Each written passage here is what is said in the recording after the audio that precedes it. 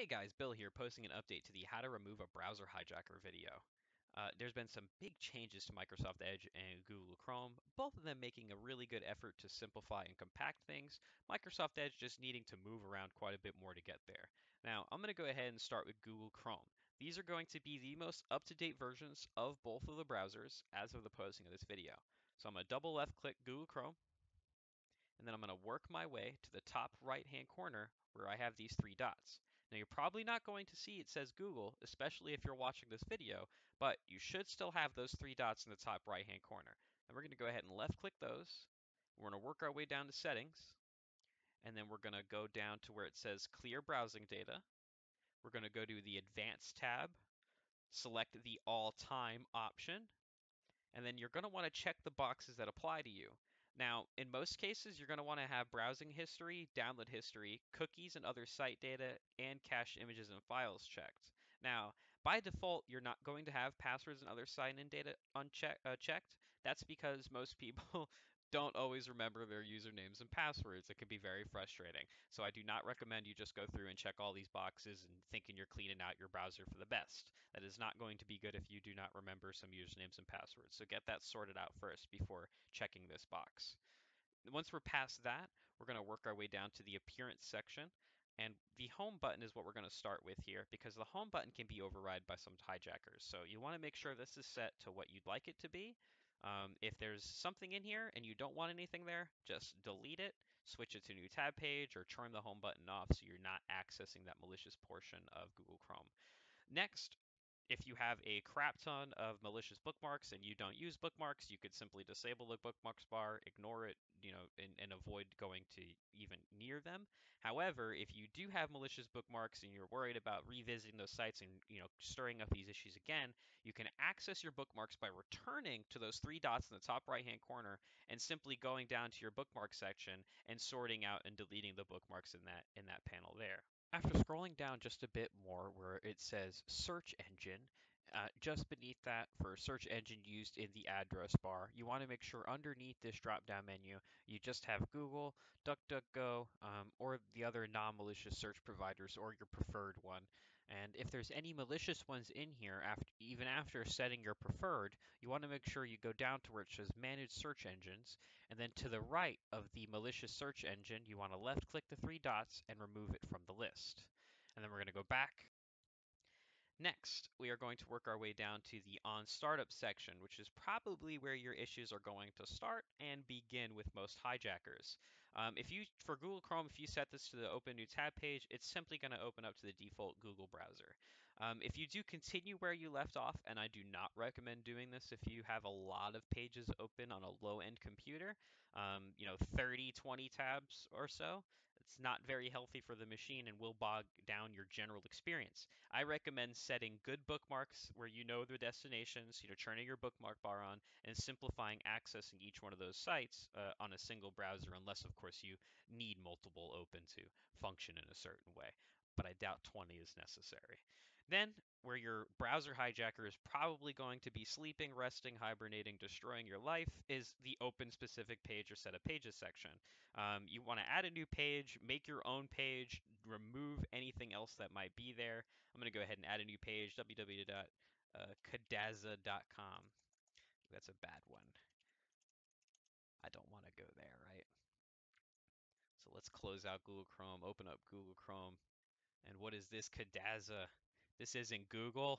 This is garbage. This isn't what I want. I'm going to go to those three dots in the top right hand corner. I'm going to work my way down to settings. I want to get rid of this browser hijacker. What is this Kadaza garbage? I'm going to remove this.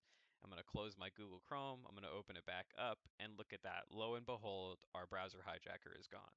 Now, if all of that fails, you can work your way down to the very bottom of the settings page, click the advanced drop-down menu, go down to the very bottom again, and restore settings to the original defaults. Now this will set all the default settings for when Google Chrome was fresh installed. You don't want to use the cleanup computer section as that will not apply to fixing your browser hijacker issue uh, specifically. If that does not work and all else fails, you want to make your way back to your desktop and go down to the bottom left hand corner where it says type here to search and left click in that box Or you can press the Windows key physically on your actual keyboard in the bottom left-hand corner of your keyboard, and that will open what is called the Start menu, and begin typing the words Add or Remove and it should pop up where it says add or remove programs. Now you can press enter or you can left click this and it will open up the add apps and features section of the Windows settings and you're going to go through and remove Google Chrome. So in this section you would left click Google Chrome and you would hit uninstall.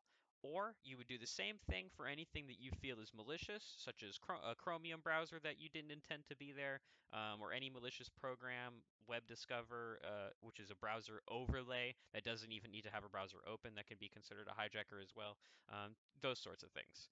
And once you've done that, because that does not actually fully remove the browser from your computer. You could go ahead and reinstall Google Chrome and still have this issue in, in a very extreme case. Now, here's what we do to remove the residual data for Google Chrome specifically. Now, if you can translate the rest of this information to remove any other browser, be my guest, but I am only showing you how to do this for Google Chrome. Now, same thing, you want to go to the bottom left-hand corner where it says type here to search and left click or press the key and start typing where and start typing the word percent. So you want the percent symbol and then you want to type app data and then the percent symbol again.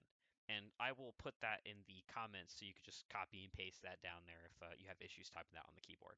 Now, again, you want to left click or press enter. I'm just going to go ahead and press enter. That'll open up the app data and roaming page. You want to left click in the top bar here where you're lighting up blue where it says app data. You want to left click app data. And then you want to left click local. And you want to find Google and again, if you have information in Google that you'd like to retain, I recommend taking this to a professional. This is, you know, last ditch effort. You just want to browse the web, sign into your email or whatever without a hassle. You want to right click Google and delete. Okay? Then you would have officially completely deleted the Google Chrome browser from your computer. Next, I'm going to be moving on to the Microsoft Edge browser. So I'm going to go ahead and double left click the new Microsoft Edge browser. Now, if you're watching this video, you're probably not going to be seeing this, but you still will have those three dots in the top right-hand corner. So we're going to go ahead and left-click those three dots in the top right-hand corner, work our way down to settings. It's going to be almost the exact same order in just about any browser as you can see in the in the main differences between uh, Chrome and Edge here. And we're first going to start from the left-hand side. We're going to start with privacy, search, and services. We're going to left-click that. Okay. Now, if this is the first time you've ever done this, where it says clear browsing data now in the bottom panel, you're going to left click where it says choose what to clear. You're going to check the boxes that apply to you and make sure in the drop down you want to have all time checked, okay?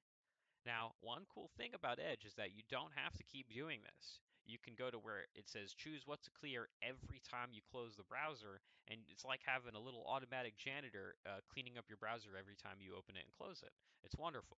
Same thing here. Just go ahead and check the tabs that apply to you. And we're going to go ahead and scroll all the way down to the bottom in the same Privacy Search and Services tab where it says Address Bar and Search. It's at the very bottom.